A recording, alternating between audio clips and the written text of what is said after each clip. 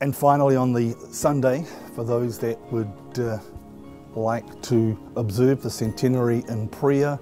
and to remember those old, boys and those connected with the school that have gone before us, St Albans Church in Eastbourne and the Wellington Cathedral um, would welcome any old boy to their Sunday service.